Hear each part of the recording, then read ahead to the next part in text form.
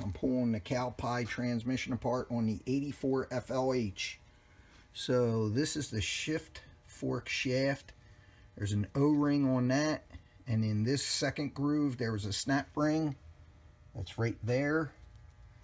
And it just comes out the main shaft side of the case. Nothing special about it. And then there's the shift forks. You have the one shift fork looks like this. This is for third and fourth gear. And it goes in, the nuts face in on both of them. This is the first and second gear shift fork. And the nuts face in on it. And when I put them like this, the first and second shift fork is bigger. Now, next we come over to the side of the trans. I took this plate out. These four Allen set screws hold the plate. Come over here and the shaft for the transmission pushes out.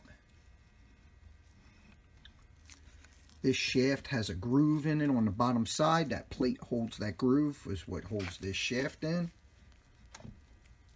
And I pull it out like that. There's an O-ring again on that shaft. And certainly has some wear right there. Hopefully we can get that shaft. Then the gear should come out, one would hope. I'll have to look into how that comes out, but when it does, the smallest gear goes on the output side. That's fourth, third, second, and first. And they just come right out there, and these dogs are here. There's still another shaft in there. I'm not exactly sure how that comes out, but I will get it, I'm sure. Might have to take the shaft out of this one first. As you can see, there is some, some nasty stuff down in the bottom. I've seen a lot worse, but that's not great either. This gear did lift out. I just needed two hands. It has this gear up against the case. You can see that looks like it was spinning a little. And this gear, this side of it was up against here. And that's on the kicker side. Then you can see there's a bearing in here there's a bearing in here on the other side, and there's a washer there too, right there. This washer looks uh, looks to be okay. You can see the bearing in there. Bearing, both those bearings will need to be replaced, no doubt. This gear comes off, and there's a bushing, and there's a washer. Then you have the dog that's on the shaft, and then you have another gear, and then, then I imagine these gears all come off. Or these might be a part of the shaft. I'm not really sure. There's that gear down. There's this washer. That's for first. Here's the dog. The side with the lines goes towards first or towards the kicker side. Here is second. So this is third gear that comes, or uh, second gear that comes off here. The way it came off is this spiral snap ring. Then there's a, a washer. Sorry about that. That goes. And it looks like the side with some marks goes down towards the gear. And in the center here is the bushing. You can see. I'm not going to take it all the way out, but it does come out. And then the, the dogs obviously face the slider. And then for the last of the trans, there's a bear, um, there's a washer there. And all this goes towards the output shaft side. To get this shaft off, you have to take the lock off of this nut and then hit it with an impact gun. And then this pulls out. The smallest over here, the biggest over here, and your last gear, I already took that nut off, but that is over here.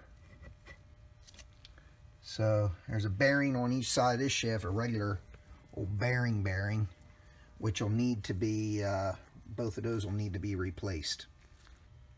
The, um, I wanted to point out that the dogs on that gear face, the tapered part faces to the rear on those. So to make sure to get it on the right way. I can see now that the fourth gear has some uh, has a bad gear. And also notice that the shaft is kind of not looking as good as it could right there. So I had to put the trans back together to get this nut loose. And then this nut lock comes off next and then out comes out comes this gear set. You pull the shaft and really takes two hands to get down in there. see if I can get it with one. There it is. That set comes out as one complete unit. And then it's this set, and I believe for this set you gotta probably hit it with a mallet or do a little pressing on it. I got the main shaft out um, the way you get it out is you, you take it out of the case this way towards the kicker. The, um, the whole shaft comes out. The dogs are tapered to the rear of the trans. This is your main drive gear. It's a shame it's in really good condition, except for those teeth are beat up, which means that needs to be replaced.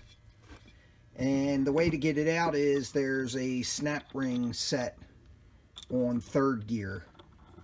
Now when you take this dog off, fourth gear, it says high. So it points to high gear. then you had this snap ring that you had to get off and the washer that came off next. And then third gear comes off and then you have to get this bearing off and this gear will come off uh, first and second. And I believe it's just pressing out of the shaft out of it no big deal. And that gets it out of the case. And the other side of the case has that needle bearing right there which will need to be replaced and then it has a seal I believe and it has this bearing uh, outer race here and then there's a seal in the end of uh, fourth gear, right here where the shaft comes through. So, so far from what I could see is it's going to need fourth gear. And on this side, that cluster gear is also bad, which is fourth gear on the counter shaft. And to me, it looks like it's going to need two shafts there. And then this shaft right there. You see it's bad pitting. The hardness is starting to come off the shaft. So it's going to need a main shaft, a counter shaft, fourth gear on the main shaft, which is drive, and then third and fourth on the counter. It's going to need this bearing, that needle bearing on main drive. It's going to need the bearing on this shaft. And then inside of here, there's a bearing a bearing, and two gaskets. So that's about it. And what did I say? So that's basically two seals, one, two, three, four bearings, the main shaft, the counter shaft, and both fourths gears. And that'll do it.